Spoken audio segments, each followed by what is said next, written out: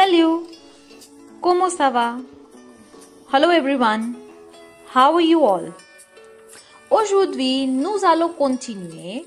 Today, we are going to continue avec les conjugaisons des verbes, with the conjugations of the verbs. Aujourd'hui, today, nous allons faire la conjugaison des verbes the troisième group.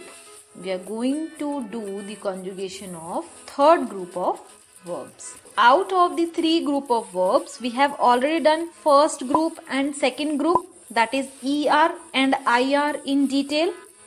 We have also understood the irregular verbs okay that do not take exactly same conjugation of their own group we will now start with third group of verbs that is the verbs which end in re and we will also cover the other irregular verbs. So now let's see how to conjugate the third group of verbs. In step 1 we will remove re from the end of the verb and the remaining will be radical. Okay let's uh, understand this simultaneously with an example. Let's consider the verb entendre entendre means to hear so when we remove re from entendre the remaining en tent is the radical. Now in step 2 we have to add the following endings to this radical according to the subjects. And the endings of third group are with j s with tu s with il and l there is nothing as ending that we will put nu ons with vu ez with il plural it will be ent so now as we have taken the verb entendre let's see how this verb will be conjugated J'entends. Tu entends. Il entend. Elle entend. Can you see there is nothing after E and T E N D that is the radical. With il L there is no other ending. Nous entendons. Vous entendez. Ils entendent. Elles entendent. You can listen here the Z sound which is liaison that we have already done in our previous videos. So there are few more verbs which get conjugated according to the same conjugation as entendre. These verbs are attendre, répondre, descendre and rendre. Attendre means to wait, répondre means to answer, descendre means to get down and rendre means to give back or to return. Let's see more RE ending verbs which do not follow the exact same rule of third group of verbs. We will start with lire. Lire means to read and there is another verb which is dire which means to say.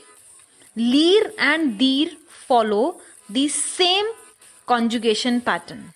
Let's see how they are conjugated. Julie, lis tu lis, il lit, elle lit. Nous lisons, vous lisez, ils lisent, elles lisent. So you can see here we have removed RE and thus LI becomes the radical with je, tu and il. This is the radical and the endings are SSTT. Now with nu, vu and il plural you can see the radical has become lis and then we have added the endings to this.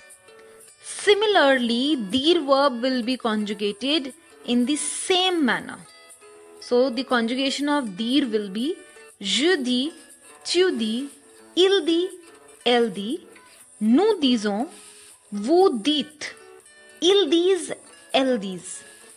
So if you can observe, both the verbs are same except for the subject vu. In vu, dit has been written. That means instead of s, we have written t. So you will have to remember this rule. Let's take another verb which is mettre. Mettre means to put. So let's see how this verb is conjugated and let's also see the irregularities of this verb. Je mets, tu mets, il met, elle met. Nous mettons, vous mettez, ils mettent, elles mettent. So let's try to observe this verb. In je and tu, you can see the radical is met and the endings are ss. With il and l, met is the radical, there is no ending. And with nu, vu and illel plural, that means all the plural subjects have me double t as the radical. And then we have added the endings. And there are two more verbs that are permettre and battre which are conjugated in the same manner as mettre is conjugated. Permettre means to permit and battre means to beat. Okay, let's try and understand one more verb, décrire. Décrire means to describe. As per the rule, we are going to remove RE from décrire and what remains is D-E-C-R-I and then we are going to add the endings. Let's see the conjugation. Je décris, tu décris, il décrit, elle décrit. Nous décrivons, vous décrivez, ils décrivent, elles décrivent. Let's observe the irregularities of this verb. In tu and il, elle, that means all the singular subjects, the radical is DECRI and then we have added the endings which are SSTT. But with plural subjects, the radical has changed and we have added a V. Nous décrivons, vous décrivez, il décrive, elle décrive. So D E C R I and V. This is the radical. So the verbs which get conjugated in the same pattern as décrire is conjugated are écrire which means to write, réécrire which means to rewrite, prescrire which means to prescribe. Alright. The next verb that we are going to cover is prendre. Let's see how this verb is conjugated. Je prends, tu prends, il prend, elle prend nous prenons, vous prenez, ils prennent, elles prennent. So friends, you can see here with je, tu and il, elle, the radical is prend and the endings are s with je, s with you and nothing with il. With plural subjects that is nous, vous and il, the radical has changed to p-r-e-n. The d has gone away. So in nu and vu, the radical is PREN and ending is ONS. In vu, again, radical is PREN and ending is EZ.